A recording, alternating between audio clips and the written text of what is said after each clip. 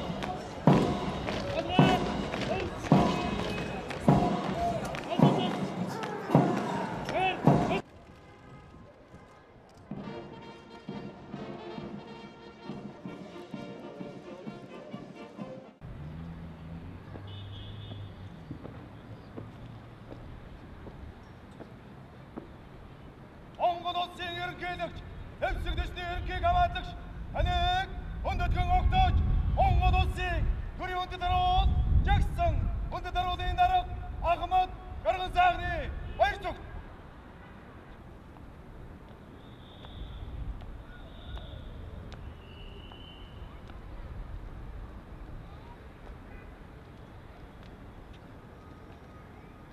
Хуурын гэгшгэнд гангарсан эрдүү Монгол минь хуулийн дээрэн чангарсан эрэмгийн Монгол минь уйхан тусдан бөмбөрцөг юм дэлхий минь ухааны буураар дэлхийг тамгалсан монголчууд минь. Жаргал авчирсан он жилүүдийн тоосон дунд нь гэрэлцэн заяа төссөн одныхон ариун үнээр замсан энэрэнгүй нийгмийн зүг санаа шулуудан зорьсон эх орон минь өнөөдөр оюутан зэргүүдээр багархан байна.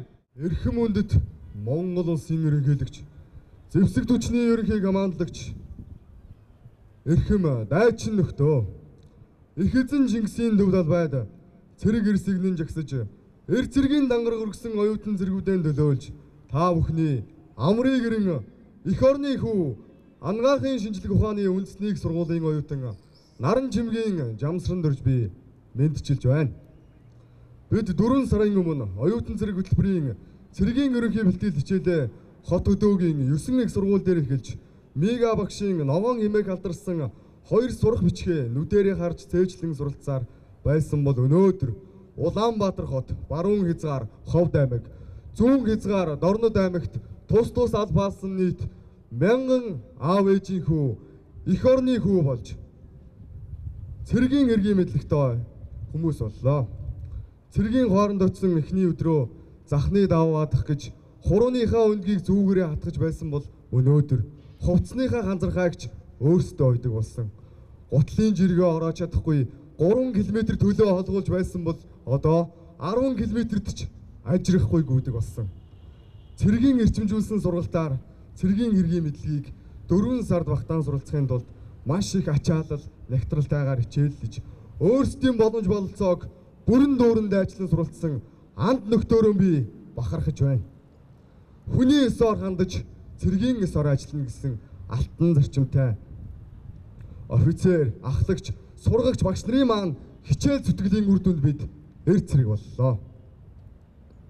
Бид аав шиг тусалж анд найз шиг нөхөрлсөн энэ жил Батлан хамгаалахын их сургуулаа төгссөн шинэхэн залуу дислэгч Салаан зэрэгчийн удирдлаганд ор өдөр бүр хичээнгүйлэн суралцлаа. Салаа болон тасгийн гинжин дарах, тавших, тулгарах, хориглох, байлдаанд байрлалаа зөө үзлэх, дохио командыг дамжуулах гэх мэт байлдаанд байлдагчийн үүргийг гүйцэтгэж сурлаа. Мөн түүжлэн цэргийн баг мэрэгжил болох буудагч мэрэгжилтэй боллоо. Бууг зөвхөн кинон дээрээс гарч компьютер дээр бууддаг байсан оюутнууд одоо байлдааны бүх төрлийн зэвсгээр мэрэгэн гал явуулж байлдааны гранат ашиглаж буудлагын үед гарсан гацаа гэмтлийг арилгах хагас задаргаа угсаргаа хийж сурлаа. Мөн түүнчлэн бидний бие бялдар борг шиж хэрэгжлээ. Эхний гүйлтээр нэг толгодын ороо дээр гарах гэж нэг цаг орчим болж зарим нь бүр замын хагасаас буцаж байсан бол одоо хэд хэдэн толгодын ороо дээгүр салаагаараа мөр зэрэгцэн гүйдэг болсон. Анх гар дээр 10 цунаа чаддгүй байсан байлдагч одоо 60 дан сунааж ихэнх байлдагч сонс хэрэгж сурсан бөгөөд зөвхөн биеийн хүчний төдийгүй сэтгэлийн хаттай хүний ууг дааж чаддаг болсон зэрэг оюутан зэрэг хөтөлбөрийн оюутан зэрэг хөтөлбөр бидэнд өгөөжтэй ирээдүйд хэрэгтэй үр ашгаа өгч байгаад бид бүхэн баяртай байна. Оюутан зэргүүд бид гал ус гарган амьд гарах арга ухаанд суралцаж 10, 20, 30 км-ийн марш үлдэж хоёрт тээвэрлэж доогуур мөлхөн окофон тонож галтай болон шавартай авсан саадыг туулах зэргээр халуун хүүтэнд ч үүрэг гүйцэтгэж байлаа. Энэ хүн сургалтаар мэдсэн сурсан бүхий л мэдлэг чадвараа маттгаж төсвөр хатуужил эр зөргийн их сургуулийг амжилттай дуусган эх орон чөмүүжил төлөвшөлтөө батлан хамгаалах бэлтгэлжилтээ иргэн боллоо. Бид онц буудаж сонс хэрэгсэн онцгойдон шалгарч сайшаал хүртсэн эх орон дуудахад хизээд бэлэн эрдэм чамдсан оюутан зэрэгэнгээд оюутан зэргийнхээ дуугаандуулаад оройн тоондоо жагсаж байлаа. Асгарах бороо айгам халуунд бид шантралгүй цангасан нэгэндээ цайнаасаа өгч бүдэрсэн нэгнийгээ бүснээс нь өргөж босгох нандин нөхрөлийгч бид бүтэв. Өмссөн говцсны жилөнгөтэй өргөсөн дангарганы жилүгтэй их орон төгшүүр зарлуул эргээ цуглах дайчин нөхөддөө тангаргийн баярын мэндийг хүргэе. Төгсгөлд нь нэлэхэд 40000 оюутнуудаас шалгарсан оюутан цэргүүд бид ихч зүйлийг сурсан ихч цаг хугацаа ихч цаг хугацааг хэмнсэн бөгөөд улс оронд хэрэгтэй энэ хөтөлбөр улам үргэжин өнгө төрхөө олж амжилттай хэрэгжиж байгаад бид бүхэн баяртай байна. Тиймээс цаашид оюутан зэрэг хөтөлбөрт хамрагсдын дог улам нэмэгдүүлэх эрх зүйн орчин сайжруулах зэрэгт анхаарахыг төр засгийн удирдлагуудаасаа хүсье. Оюутан зэрэг хөтөлбөрийг амжилттай санаачлан хэрэгжүүлсэн Монгол улсын ерөнхийлөгч зэвсэг түвшний ерөнхий командлагч Захиагийн элбэгдэрч болон Батлан хамгаалахын яам зэвсэг түвшний жанжин штаб боловсрол соёл шинжлэх ухааны яам Батлан хамгаалахын их сургууль Монголын оюутны холбоонд тангар хөргсөн дайчин нөхдийнхөө өмнөөс чин сэтгэлийн талархал илэрхийлье. Эх орон дуудсан цагт эрт цэрэг эх орны хүү бид хизээд бэлэн. Монгол улсын төлөө зүтгий.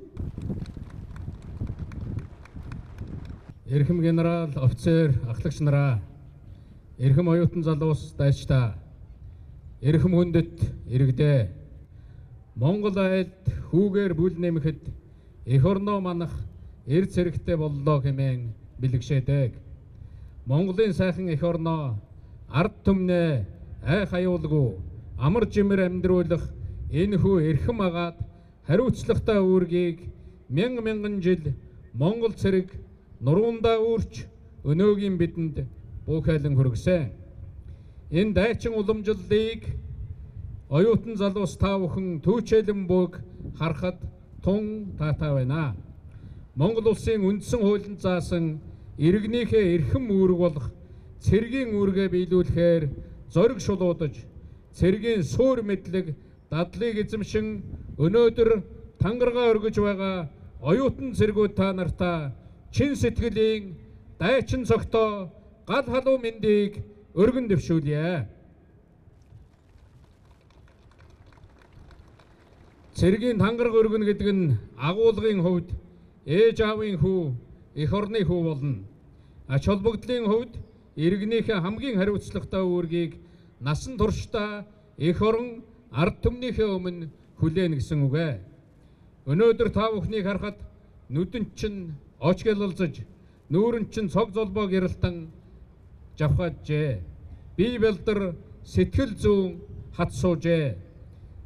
Альва сорилт бэрхшээлийг даван туулах чадaltaй болжээ. Ийм чадварлаг төлөвшөл бэлтгэлжилт бүхий цэргүүттэй болж байгаагаараа Монголын ард түмэн Монгол төр бахархаж байна. Улс орныхоо аюулгүй байдал, батлан хамгаалах хэрэгцээ, шаардлагыг хангах нь Монгол төрийн нэн тэргүүний үүргээ. Энэ чиглэлд хийж буй олон чухал ажлын нэг нь оюутан цэрэг хөтөлбөр юм. Энэ хөтөлбөр хэрэгжээд 3 жил болж байна. Үүнд 2500 гаруй оюутан хамрагдаад байна. Оюутан цэрэг хөтөлбөр бол агуулмж багтаамж сайтай шахуу хөтөлбөр. Манай иргэдийн талархал дэмжлэгийг хамгийн их хүлээдэг төр засгийн сайн ажил. Орчин үед цаг хугацааны болон мэдлэг чадварын үнц нь улам бүр нэмэгдэж байна. Манай оюутан залуус сонгосон мэрэгжлээ эзэмшхийн зэрэгцээ цэргийн албаа хаах үүргээ давхар биелүүлэх нь тэр бүр тохиохгүй ховор нандин боломж юм а. Эрхэм нөхдөө оюутан цэрэг бол иргэн хүнд маш үр өгөөжтэй сайн хөтөлбөр. Гэхдээ өнөөгийн төвшин бол зөвхөн эхлэл. Цаашид энэ хөтөлбөрийн цар хүрээ улам өргөжнө. Хамрагдах сургууль оюутны тоог нэмнэ. Мөн мэрэгжил сургалт үйлдвэрлэлийн төвд суралцагчдыг нэмж хамруулнаа. Хөдөө хот ялгаагүй хэрэгжүүлнэ. Батлан хамгаалах хөлийн цэргээс гадна бусад цэрэгдсэн байгууллагыг хамруулнаа. Эрэгтэй хүүхэд үрийг цэргийн албанд хамруулах чиглэл баримтланаа. Ийм байдлаар Монгол улс бодлогоо тодорхойлж байгаа. Эрх зүйн орчинч энэ чиглэл рүү явж байгаа. Эрхэм ээж аавуудад хандаж нэг хүсэлт уламжилъя. Эрэгтэй хүүхэд бүрээ эр цэргийн албанд хамруулах төрийнхөө бодлогыг халуун дотноор дэмжихийг та бүхнээс хүсье. Цэргийн алба бол нэг биед заяах жирийн алба бишээ. Ажил амьдралын аваад явах төсвөр хатуужил, эх орон ард түмнээ хайрлж дээдлэх итгэл үнэмшил, хүнд хэрэгтэй сайн чанар бүхнийг төлөвшүүлэх шалгарсан арга хосгүй сургалт юм а. Хүүгээ сайн хүн болгохын тулд үеийн үед уламжлан хэрэгжүүлж ирсэн бидний өвг дээдсийн нандин өв юм. Оюутан сэрх хөтөлбөрийг хэрэгжүүлэх их үйл хэрэгт гар бие оролцож биечлэн зүтгэж ажиллаж байгаа цэргийн иргэний сургалтын байгууллагын нийт офицер ажилтан албан хаагчдад зэвсэгтгүчний ерөнхий командлын өмнөөс гүн талархал илэрхийлье.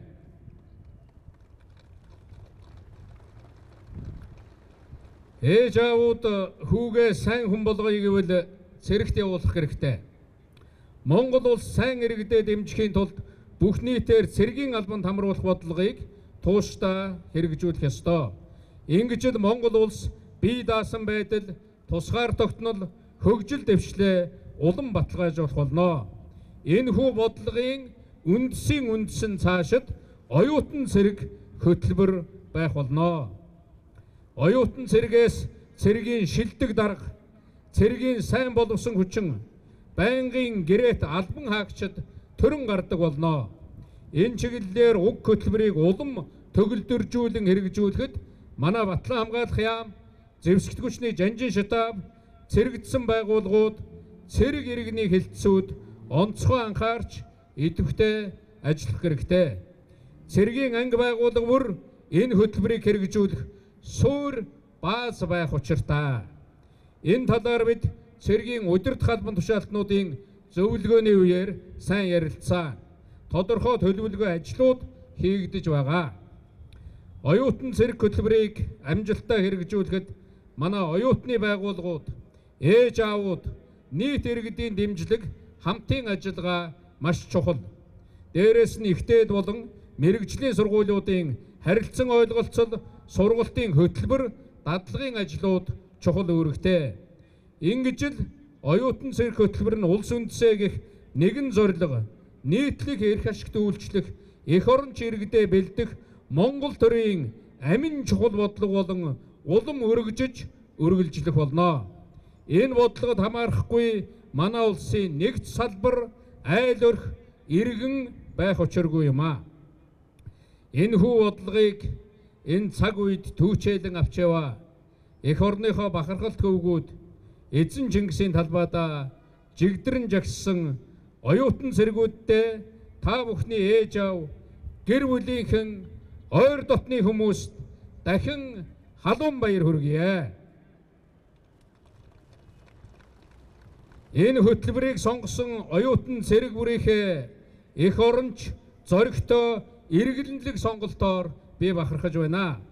Та бүхэн ээж аавын хүүгээс их орныхоо хүү боллоо. Оюутан цэрэг бүрийнхээ цаашдын алба сургалт ажил амьдралд нь хамгийн сайн сайхныг хүсэн өрөөё. Их орныхоо ихтгэл дэргэн болох та бүхний ариун улс улам өгөөчтэй байгээ. Монгол оюутан бүр Монгол цэрэг болж чаднаа. Монгол цэрэг бүр Монгол улсын нэр төртөө иргэн байж чаднаа. Би үүнд итгэдэг. Эр цэргийг хайрлаж яваараа. Монгол цэргийн яруу алдар үеийн үед мандан бадаргэ ураад ачта.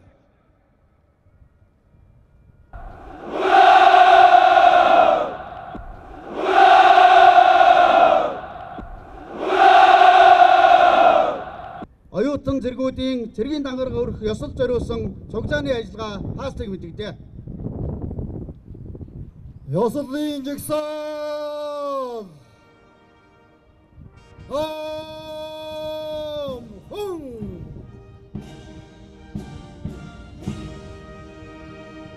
Жагсаадын алхаагаар байна. Айдэнэ томгийг батлан хамгааллын их сургуулийн цэргийн нэгдсэн сургуулийн цэргийн удирдах холбоо мэдээллийн тэнхимийн авсан багш дэд хурандаа хүн сайхан чиглүүлэн алхаж явна.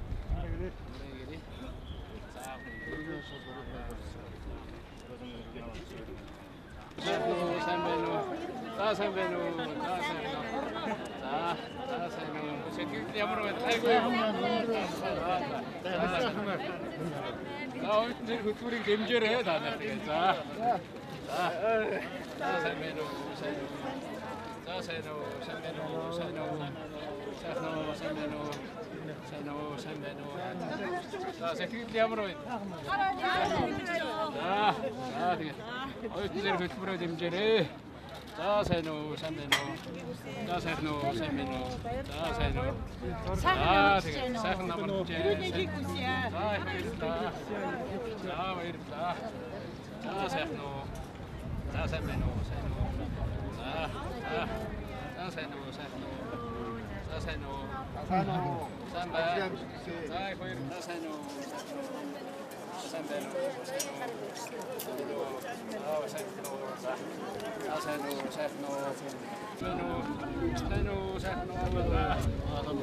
Сайн уу?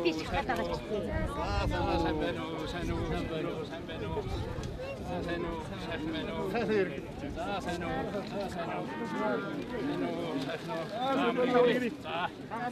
За. За. Бай. За. Аа мөрөг. За.